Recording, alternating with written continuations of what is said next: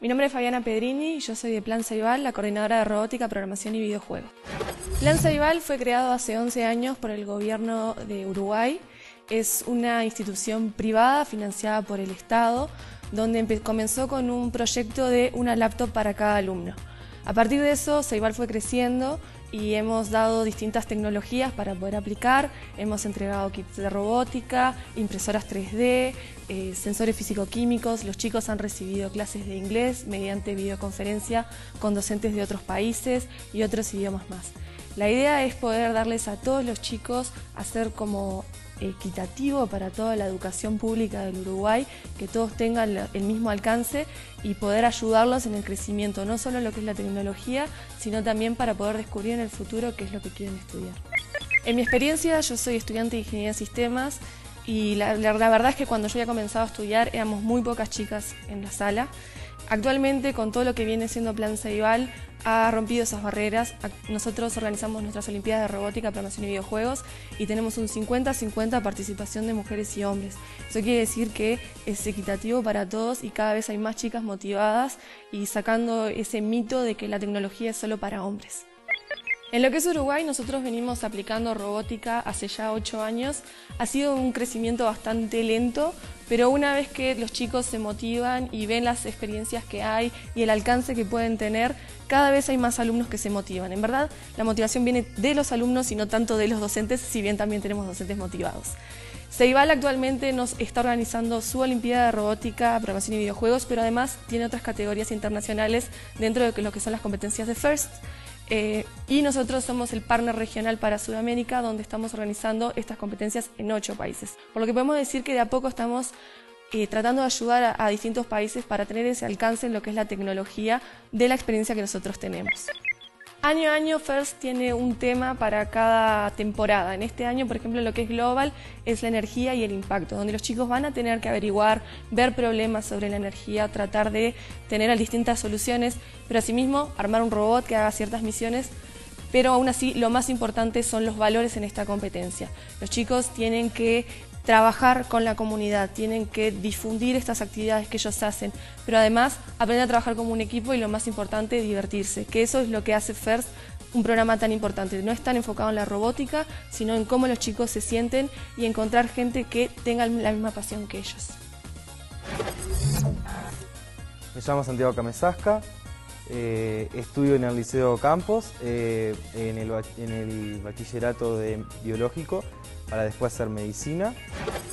Mi participación en el proyecto fue más en parte de, armado, eh, o sea, como que cumplía varias cosas y también este, ayudaba a mis compañeros en un montón de cosas, también en el tema de los diseños, de redacción también, eh, de todo lo que es el robot, qué partes, qué cosas usa, todo ese tipo de cosas.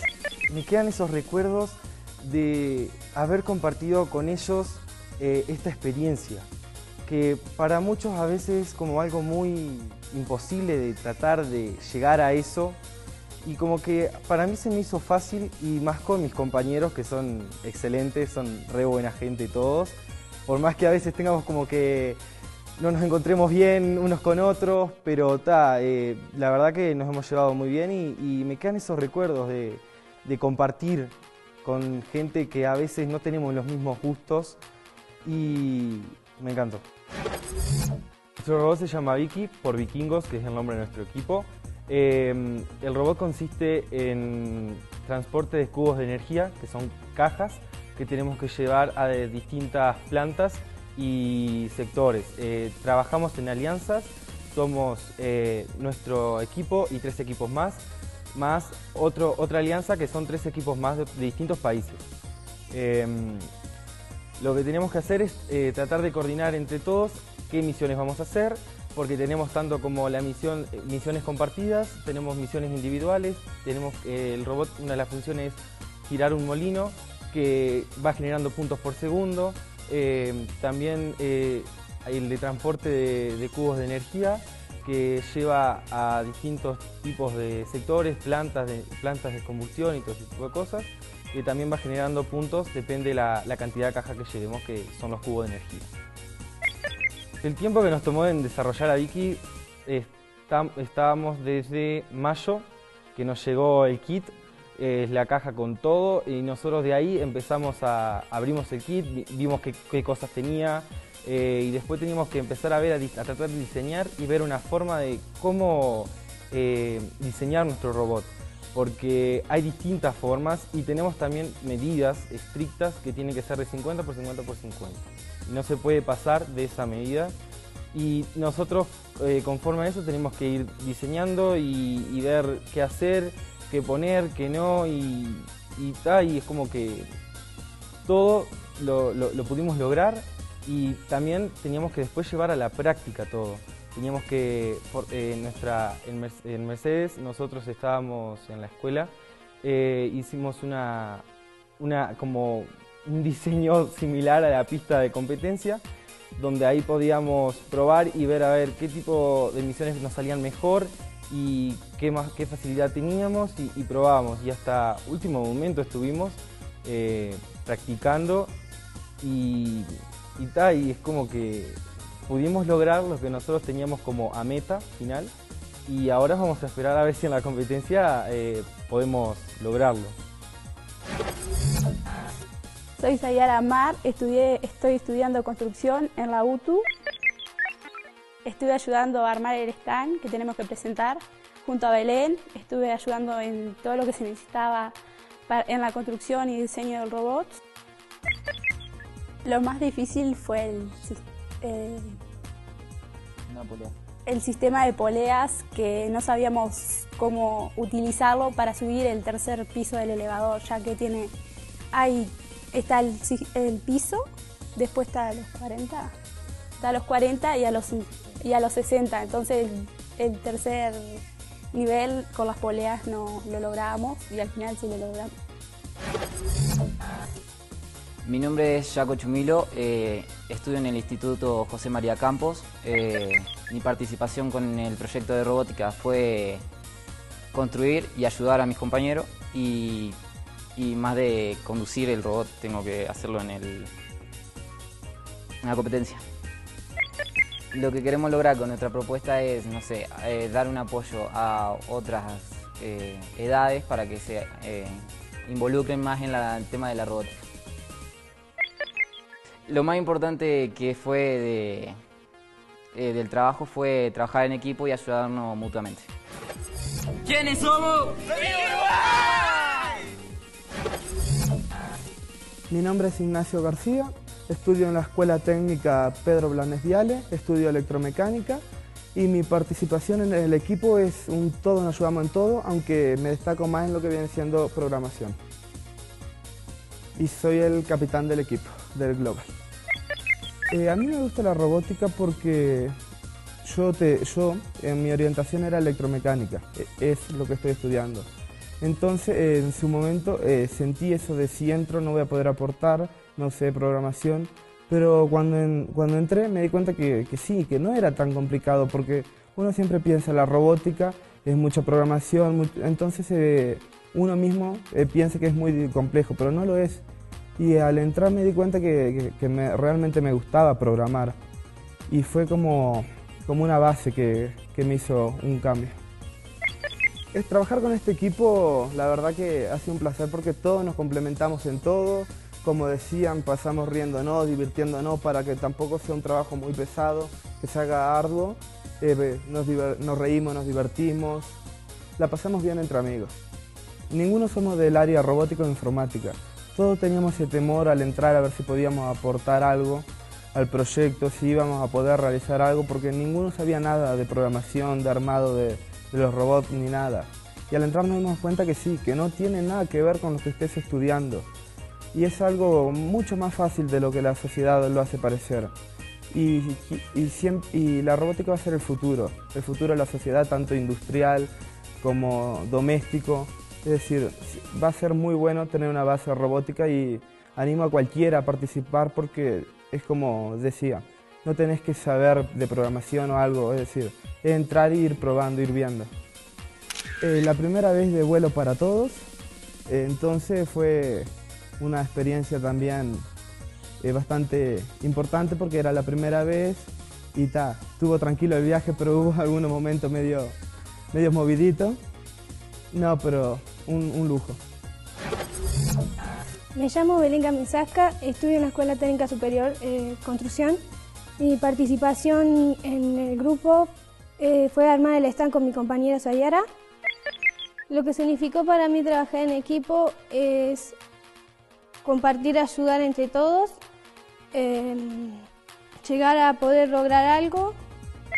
En el sentido de todas las mujeres que se inter- interesan en la robótica, porque como ejemplo nosotras, yo en la parte de construcción también me gusta más también participar en la robótica.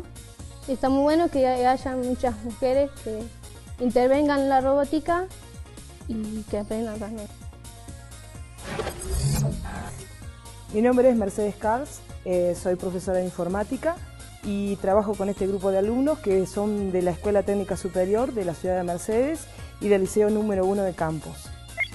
En este mundo, digamos, de nuevas tecnologías y del manejo de las TICs, considero que es muy importante eh, que los alumnos eh, se integren y participen con ella. Eh, por ello nosotros, por lo menos a nivel de Uruguay, es lo que estamos este, intentando hacer, tanto en, a nivel de primaria, de secundaria o a niveles superiores.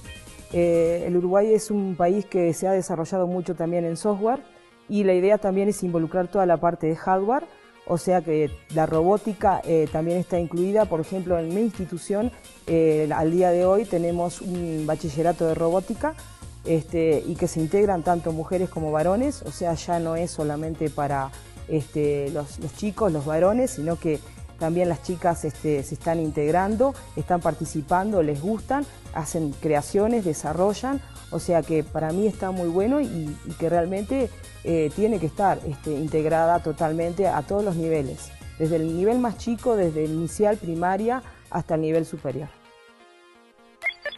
Cuando nosotros trabajamos en robótica no incluimos solamente el hecho de decir construyo o desarrollo un robot, sino que también este, los chicos involucran otras asignaturas, otras materias como física, matemática, puede ser eh, química o este, algún, alguna otra más, este, eh, en construcción. Eh, nosotros en nuestra escuela que tenemos este, todas esas áreas y mecánica, este, quiere decir que es un aporte que no es solamente de decir este, voy, desarrollo y construyo un robot, pero tengo que aplicar la parte de matemática, tengo que aplicar, no sé, distancias, tengo que aplicar, este, digamos, otros conceptos de, cómo construir, de qué manera, las estrategias que voy a lograr. Y yo pienso que todo eso es para la vida, es para el alumno y es para que en el futuro este, ellos también eh, lo puedan tener eh, como algo de conocimiento este, eh, que, recibieron y, como un aporte más para su vida y que, digamos, también lo puedan, digamos, em,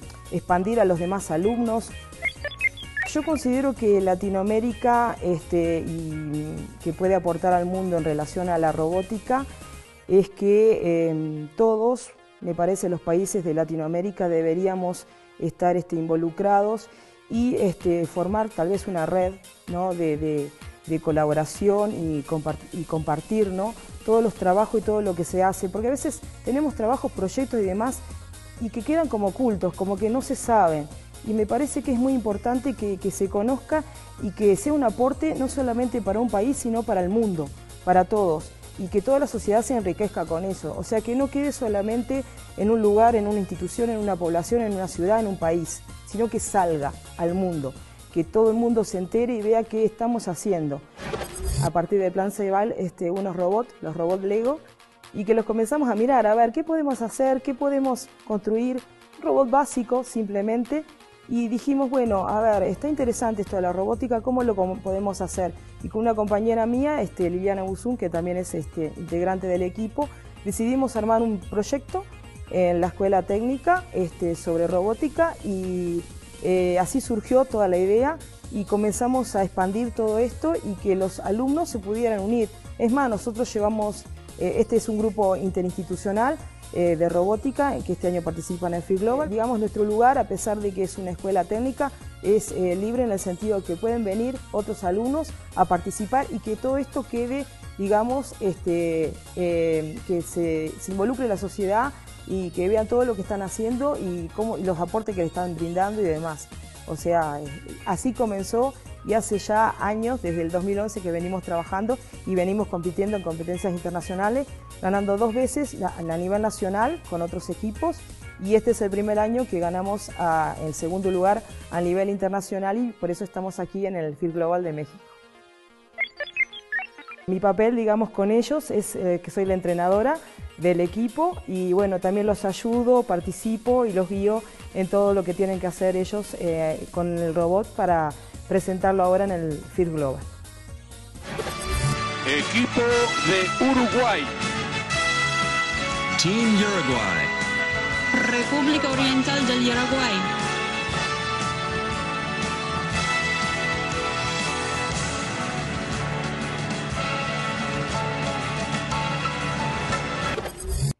El éxito de mi equipo considero que radica en el hecho de que se integran muy bien. Eh, obviamente que como todo ser humano eh, podemos tener nuestros días buenos y malos, pero entre ellos se van levantando el ánimo, tratando de salir adelante y bueno, y van tratando de ver los problemas que se le han presentado y cómo resolverlos.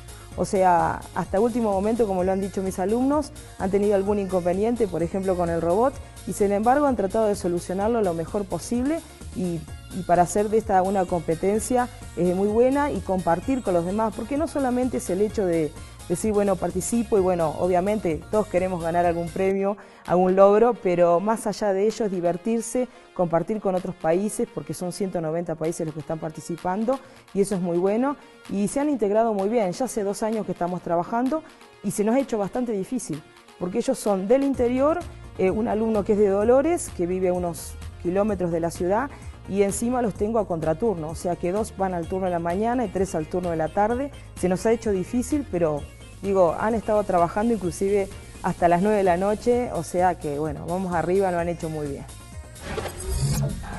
Este equipo está muy, muy emocionado por poder participar en el FIR Global. Estamos muy, muy contentos por poder compartir tantas culturas, conocimiento con otro equipo y, eso, es decir, está muy bueno porque podés eh, ver otros robots y decir, ah, mira, no se me ocurrió hacer esto, lo podría haber hecho.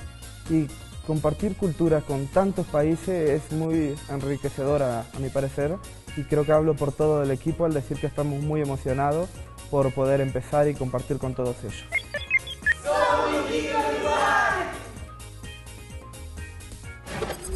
Hola, somos el equipo Los Vikingos de Uruguay y queremos contarles que el día de hoy hemos ganado la medalla de plata a la categoría Alp Grismi al sponsor destacado. Que reconoce a aquellos sponsors que ayudan no solo económicamente, sino ayudando y apoyando al equipo hasta el final. Hemos decidido nominar a Plan Igual por su ayuda eh, que nos ha otorgado a nosotros y a la educación y especialmente queremos agradecer a área de Laboratorios Digitales que por su ayuda nos ha permitido crecer gracias a tus aportes. Muchas gracias por darnos esta oportunidad, esta experiencia maravillosa. Le mandamos saludos a todos desde México.